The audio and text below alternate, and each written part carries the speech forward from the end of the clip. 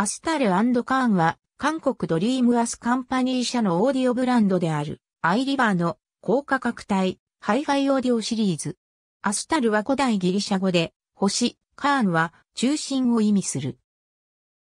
当初、日本語読みはアステルカーンとする予定だったが、日本の輸入販売代理店が意見し、カーンケルンとなった経緯がある。アイリバーは従来、デジタルオーディオプレイヤーの低、中価格帯製品を投入し、一定の評価を得ていた。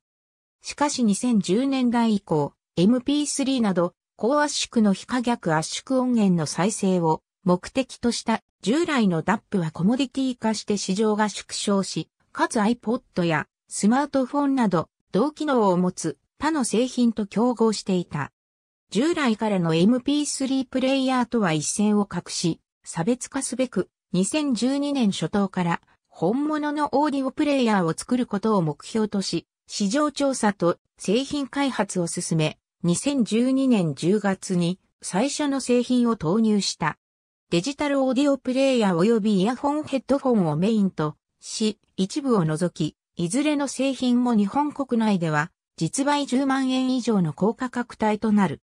アイリバーでは、スタジオレコーディングで作られたマスター音源をマスタリングクオリティサウンドと定義し、CD と比べてはるかに大きなデータ量を持つマスター音源を再生できる製品を開発、販売している。DAP 製品は大学などの研究機関に協力を仰ぎ、イヤホンヘッドフォンに関しては他社との協業で製品開発を行っている。ここでは日本で販売されている主な製品について記載する。